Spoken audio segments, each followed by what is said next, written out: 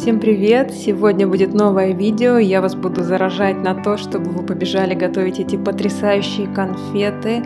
Чернослив с грецким орехом в шоколаде. Это что-то невероятное. Это съедается просто за один день и не сравнится ни разу с покупными конфетами. Меня зовут Ольга Бауэр. Если вы еще не подписаны на мой канал, подписывайтесь и давайте начинать. Для приготовления конфет э, мне понадобится чернослив. Я его залила кипятком, промыла, чтобы он был мягкий, и выкладываю просушить на салфетку для того, чтобы потом впоследствии к нему приклеился шоколад, иначе на влажный чернослив он просто не приклеится, стечет. Поэтому я его хорошо просушиваю, это обязательно. И при этом обратите внимание, чтобы чернослив был мягкий. И также нам потребуется грецкий орех, он у меня прожаренный в духовке.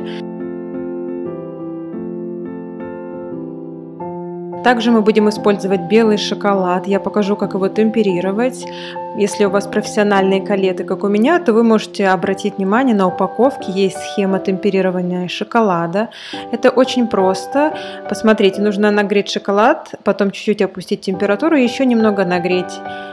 Тогда у него поменяется кристаллическая решетка, и он будет твердым после застывания. Калеты выглядят шоколадные вот таким образом. Если у вас нет профессионального шоколада, ищите шоколад с хорошим составом, чтобы там не было лишних ингредиентов. Поэтому мы используем профессиональный шоколад, чтобы знать, что там ничего лишнего. Я насыпаю произвольное количество шоколада и буду его нагревать на водяной бане. Также я буду использовать какао-масло. Это жир, который выжимают из тертого какао, молотых зерен плодов шоколадного дерева. И он нам поможет э, еще лучше стабилизировать шоколад. Поэтому, если у вас не получалось темперировать шоколад, попробуйте добавить э, какао-масло с ним. А, вы быстрее добьетесь результата, и он еще лучше, еще крепче будет после застывания. Я буду нагревать шоколад на водяной бане, налила сантиметр воды, чтобы миска не касалась воды, когда я поставлю вот так сверху. Он должен греться на пару, это важно. И будем нагревать его до 45 градусов. Также мне понадобится пирометр, это бесконтактный термометр, чтобы мерить температуру шоколада.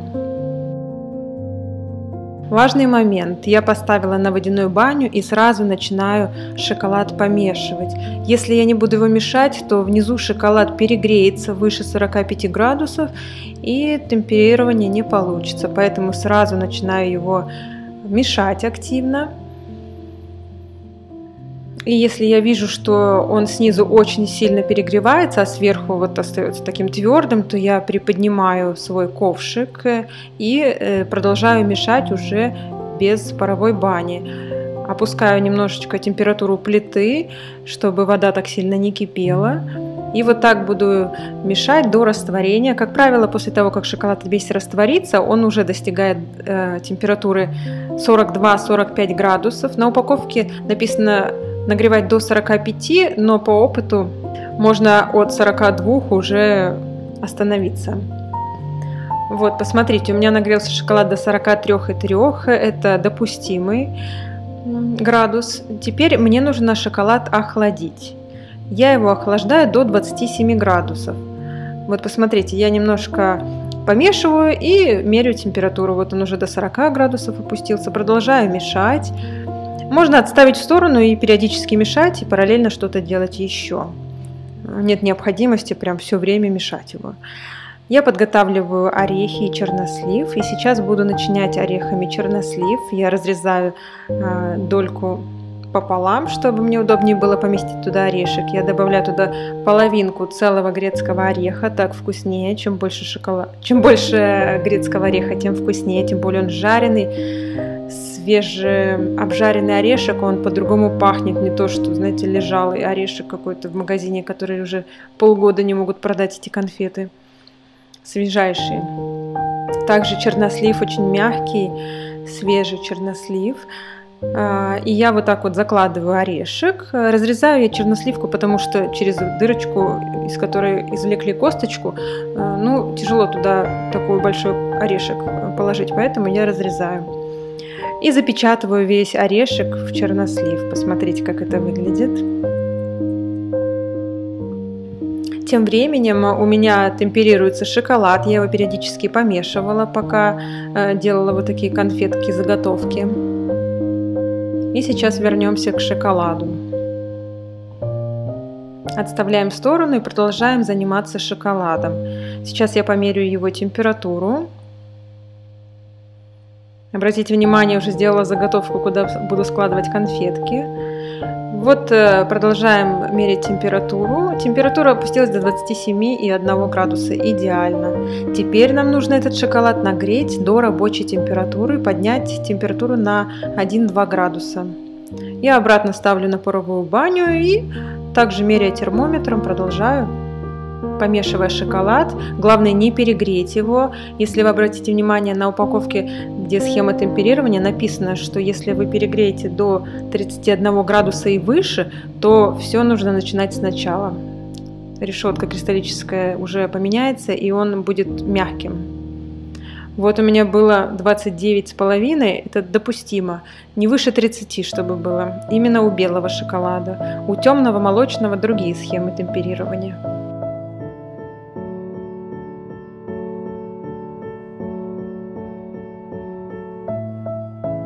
Теперь я буду купать каждую заготовку в белом шоколаде, так как у него текучесть высокая. Посмотрите, он э, сильно стекает с конфеты, поэтому я его буду купать дважды, чтобы побольше шоколада к нему прилипло. Но со временем, как температура шоколада будет опускаться, он будет становиться все гуще и гуще, и в какой-то момент уже будет тяжело э, купать конфетку, поэтому нужно следить за тем, чтобы температура шоколада всегда была примерно одного и того же градуса. Поэтому, если ваш шоколад остыл, вы его переохладили, то поставьте снова на водяную баню, доведите до 28 градусов и продолжайте купать ваши конфетки. Вот первую партию я искупала, теперь дважды вот второе купание у нас происходит. Конечно, в идеале дождаться, чтобы полностью затемперировалась э, первая, первый слой, тогда больше шоколада прилипнет. Но можно и вот таким образом. Каждую конфетку, заготовку я купаю и отставляю, чтобы она темперировалась. У меня внизу пленка пищевая, чтобы шоколад туда капал, который э, стекает. Теперь я буду темперировать темный шоколад и будем покрывать сверху, бел, сверху белого темным. У меня темный 49%. У меня не было профессионального, поэтому я беру качественный шоколад Линд, он не подводит. Ломаю его на мелкие кусочки и также буду сейчас нагревать на водяной бане. Схема темперирования темного шоколада отличается от белого. Также я добавлю какао-масло, оно поможет э, легче затемперироваться шоколаду. И обратите внимание, мне нужно нагреть до 46-49 градусов шоколад, потом охладить до 28 и нагреть до рабочей температуры 30-32 градуса. Я уберу несколько кубиков шоколада для того, чтобы потом быстрее провести темперирование. Это второй способ, когда убирают часть шоколада и потом им охлаждают э, уже нагретый шоколад. Поэтому сейчас наша задача нагреть точно так же. Я постоянно помешиваю шоколад, слежу, чтобы он не перегревался. И нагреваю до 46-49 градусов. Нагревать можно также в микроволновке импульсами. У меня микроволновки нет, поэтому водяная баня мне подходит больше. Смотрите, не нагревайте шоколад напрямую на плите, он у вас подгорит и будет хлопьями, вы испортите шоколад. Вот, смотрите, он у меня полностью растаял, стал текучим. Я измеряю температуру 46,8 градусов. Идеально. Снимаю с плиты. И добавляю тот шоколад, который я откладывала. Ломаю на мелкие кусочки, чтобы легче было ему растаять. И тем самым я понижу э, температуру шоколада намного быстрее, чем ежели я бы ждала, пока он просто сам будет опускать свою температуру. Будем охлаждать э, до 28 градусов. Вот видите, он уже растаял. Но, конечно, темному шоколаду сложнее таять, чем э, белому или молочному, поэтому тут нужно мешать примерно минутку-две. Температура уже упала до 38, видите? И продолжая вот так помешивать, будем охлаждать шоколад. Периодически я измеряю ему температуру. И вот 27,7. Температура, до которой мы должны были охладить шоколад. Теперь нам нужно поднять до рабочей температуры. Напомню, что рабочая температура темного шоколада 30-32 градуса. И вот я вернула его на водяную баню, измеряю температуру. 29,5. И продолжаю мешать и доведу до 30.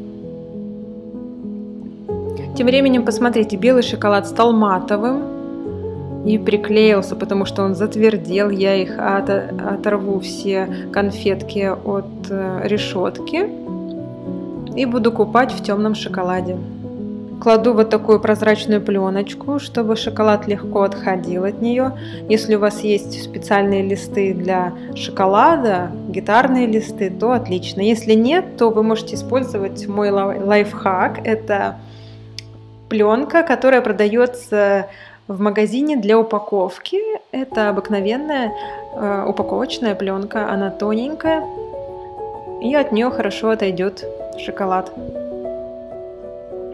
И вот я купаю каждую конфетку в темном шоколаде и стряхиваю излишки шоколада, иначе они стекут вниз конфетки и будет э, такой ободок э, ненужный. И вот таким образом каждую конфетку я окунаю в шоколад. В темный шоколад я один раз буду окунать, купать. Два раза мне не нужно. И посмотрите, обратите внимание, что конфетки, которые первые были уложены, уже затемперировались, они матового цвета стали. И буквально 2-3 минутки, и они все уже застыли. Темный шоколад быстрее схватывается, с ним немного тяжелее работать, нужно поддерживать его рабочую температуру. Но посмотрите, как от пленки легко отходит уже затемперированный шоколад. Оп, конфетка готова. Давайте разрежу и покажу, что внутри. Это самые вкусные конфеты, которые можно приготовить таким простым и легким способом. Посмотрите, много орешков, вкусный нежный чернослив, белый шоколад, который а, заполнил все стеночки внутри конфетки. И получается как такая дополнительная начинка. И сверху тонкий слой темного шоколада. Это очень э, быстрые легкие конфеты, которые вы можете приготовить, и я вас уверяю, вы будете готовить их снова и снова. Если вам понравился рецепт, то подписывайтесь на канал, ставьте лайки, пишите комментарии. Рецепт будет под видео в описании. Спасибо за просмотр и увидимся в следующем видео. Всем пока!